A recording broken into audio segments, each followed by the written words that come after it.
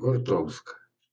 Нужно всех последователей в чат, в WhatsApp и Телеграме добавить, чтобы мы там варились, обменились опытом, дружили. Вы знаете, Егор, я вас прошу, мне часто говорят, вы делаете то, то, то. Вот я, например, создаю фильмы. Вот сегодня я сделал четыре. Приезжают, я узнал, что у них в Красноярске творится, я же им рассказал, что у меня. И показываю, рассказываю. Все время пронизано все учебой, учебой, учебой. Но настолько это делается ненавязчиво, что человек считает, что он просто смотрит интересную картину в уникальном саду, да, и чему-то учится. А потом мне нужно взять девочку говорю, это самое, вот тебе 200 рублей очередные. Вот.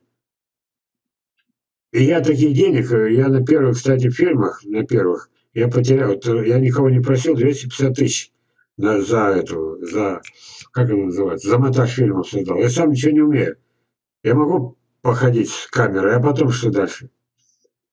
Вот. И вот, понимаете, чтобы я мог э, нормально существовать, продолжать эту, надеюсь, полезную работу, мне кто-то бы прислал 100-200 рублей на мой электрон, не на электронный адрес, то есть имеется в виду на мой телефон там, все его знают, 8 960 776 8672. Вот. А вот когда мне когда советы дают, вот нужно бы, чтобы мы варились. А кто будет лидером этого, чтобы варились? Я уже не могу, я даже не умею этого делать. Мне создали канал, я туда фильм выставляю. Девочка. Э, это, за 200 рублей сделает мне очередной, а таких уже сотни. А у меня уже столько денег нет. Пожалуйста, помогайте. 100-200 рублей хотя бы. Вот. А Ребрик, я вспоминал его, вот он. Э, среди, вот сейчас он среди вас, да, он мне 10 тысяч прислал. А знаете, сколько 10 тысяч? Я 50 фильмов создал благодаря ему. А они все в Ютубе. Вы скажите, и этот, э, Александр Алексеевич, вы деньги мне подарили? Или мы помогли девочке создать фильмы? Вот, студентки, с, это, которые ничего нет, кроме этой стипендии, э, как это называется, колледжа. Вот так вот. Так что давайте так, Егор. Может быть, вы создадите, обмениваться, дружить. А просто совет давать, ну, не получается. Вот. Э, не мое это. Есть канал, сделали мне его, я в этом и живу. Так. Сергей Амур, Зея, Волга. Э, Все-таки Амур, Зея или Волга? Амур это Зея, а Волга. На абрикоса Железова нет ли. Шелковица от Железова с дерева Алексея приживается. Алексей, это самый молодец. Черенки абрикосов привитые живут. Косточки любых сортов порастают и становятся мощными деревьями. В общем, все хорошо. Спасибо, Валерий Константинович, вы грамотный человек. Антоха, привет. Так, значит, спасибо вам за добрые слова. Дело в том, что Дальний Восток, у меня большинство абрикосов же оттуда. Начинайте рассказывать, сколько их оттуда. Европейцы есть, но в три раза меньше. И вот получается, что именно там, то, что от меня идет на Амур, Приморье, в Хабаровский край, э, на Сахалин, даже в эту, на Камчатку, это все становится, как вы пишете, мощными деревьями. Почему? Возвращая на вашу родину. У вас был такой период, который называется растерянность саженцы покупали огромные, ваши саженцы в Дальний Восток покупали китайцы и раздавали людям, чтобы они не это, зубы не сыпались, чтобы у них э, были витамины, раздавали людям. У нас это невозможно считается. Представляю, крупную партию покупает государство, у Сергея Железа выкупает все за хорошие деньги, вот, и раздает вам. Что, смеетесь? Вы правильно делаете. Так, что дальше? Егор, я могу создать. Пишите мне в WhatsApp. Будем общаться. Всех добавлю. Вот его данные, смотрите. Егор из Томска. Вот его WhatsApp, пожалуйста. Но если вы думаете сразу все броситься, тут надо какой-то интерес, чтобы у людей был. Объединять людей – это тоже талант. У меня не получилось. У моих оппонентов миллионы этих самых подписчиков, у меня 10 тысяч. Вот. А это за много лет, это за, за десятки лет. Поэтому я не знаю, вот, получится у вас, не получится, ну, я свое дело сделал. Я свое дело сделал. Я, я объявляю, что вы прислали WhatsApp. Вот он. Так. И я надеюсь, что вы станете основателем нового канала. Татьяна Федосеева. Что-то фамилия знакомая. Друзья садоводы, YouTube любит лайки и комментарии. Предлагаю каждому лайкать, писать комментарий. Я стесняюсь каждый раз говорить. Ставьте лайки. Пусть это будет наша благодарность YouTube за наше общение и повышение рейтинга этих вебинаров. Да, рейтинги не, блещут. Вебинары не блещут рейтингами. Так. О, я как раз-то радиоэлектронщик. Так это, это же я вас цитировал, Егор. Ёлки-палки. Ну, ну надо же, ну не врубился. Тот Егор и тот Егор. Ну, ну, ну что я скажу?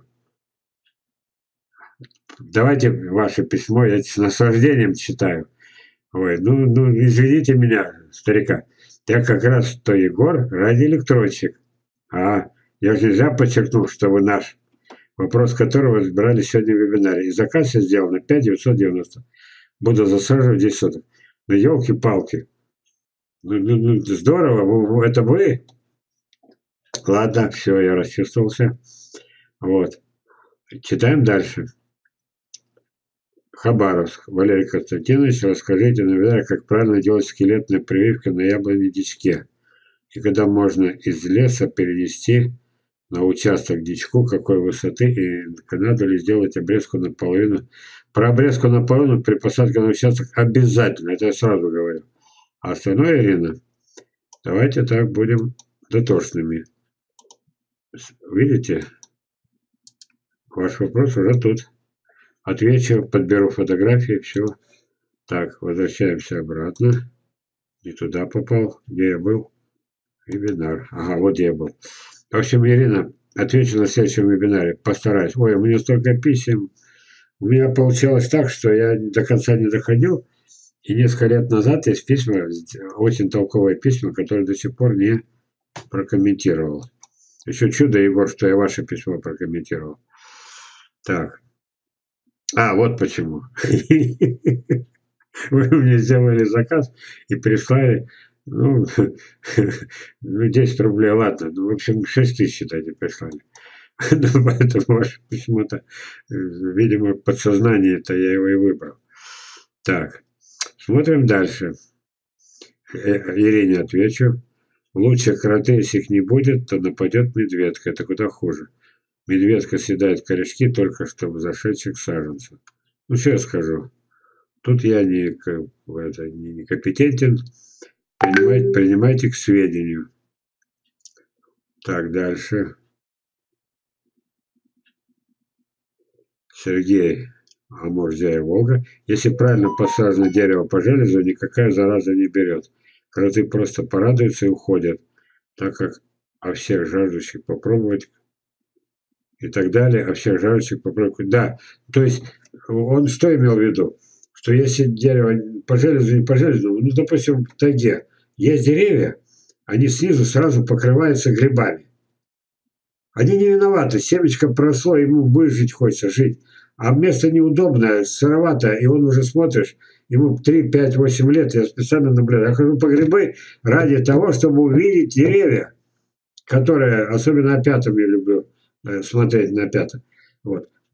И мне понятно, дерево тут короткая жизнь. И в саду она будет короткая, если там неподходящие условия. Понимаете? Вот. А берем идеальные условия. Косточка умудрилась найти себе семечко такое место, где уже корневая шейка не, без грибов, не страдает. Одно из тысячи взошло, тысяча упала, одно взошло. И вот она прекрасно развивается. Это в природе. А мы постараемся, то, что по железу, это повторить эти же условия. Шабаковская, если уж ладно, вынуждены закопать. Ну, чуть-чуть символически. Да, она может не взойти, потому что ей влаги не хватает. Высыхание мгновенно.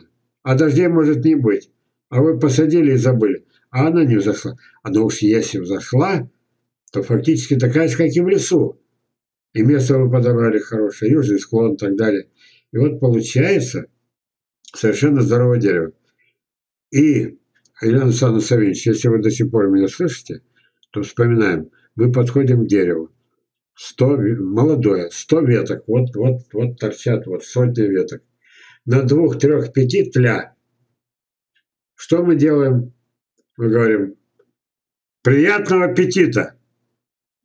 Почему? Абсолютно здоровое дерево, абсолютно здоровая корневая шейка, не гниет, посажено правильно.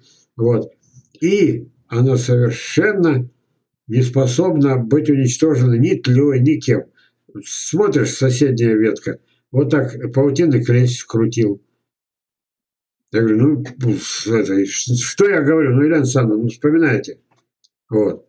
Ведь это была учеба, вспомните, вы же приехали-то, набитые этими учеными знаниями, я вас за это уважаю. Я преклоняюсь перед вами, мне это не светит. Я не могу в 72 года изучить то, что вы изучили на свежую голову. Преклоняюсь, умница. Вы талантливый. 72, простите. Вы моя талантливая дочка. И когда мы подошли к следующему, а там паутинный, как этот самый клей взял, скрутил несколько листьев превратил их в эту в хижину. Что я говорю? С новосельем! И улыбаюсь, и не собираюсь с бороться. Не... А остальное дерево целое. А плодов-то сами видели. Покажу вам свежие фильмы. Ну, без валидола лучше не, не включайте. Опасно. Вот я так вот разговорился. Смотрим дальше. Так. Значит, по железу никакая зараза берет, но по минимуму, скажем так. Уточняю. Зараза берет, но по минимуму. Так, Мирослава, привет. Если уж сильно хочется отли опрыскивать, хотя божьи коробки лучше наш друг в этом вопросе, то применяйте биопрепараты, например, фитоверм. После него даже плоды на третий день можно есть. Не пользуйтесь ядами, это потом все в почве и в плодах вам не достанется. Ну, что я скажу, Мирослава? Жаль его далеко, я вас расцеловал. Так, Владислав Сыктывкар, здравствуйте. Имеется ли каталог черенков, которые зимы будут продавать? Или еще рано спрашивать? Нашел в лесу несколько диких яблок, и ваши манжурцы тоже доросли до прививки. Владислав, я пока никому не высылаю каталог. Иногда кто очень просит, говорит, вот он устаревший каталог прошлогодний. Вот. Цены буду поднимать до 200 рублей. Уж простите, иначе просто мне не выжить. Вот, дальше, раз. Значит, а я ходил, у меня получилось так, что полную картину еще не видел, но на многих сливах вот такие приросты. На некоторых, вот этих сливах, э, грушек, допустим, да. Так, а что вам надо сейчас, сейчас, сейчас? Дикие яблони и абрикосы вам надо. Абрикосы просто отличные, и эти все засухи по барабану абрикосы для любой фантазии. Раз, яблони. Я яблони стараюсь много не резать. До сих пор не прошел страх. Все соседи уничтожены. До последнего, до последней яблони все уничтожено.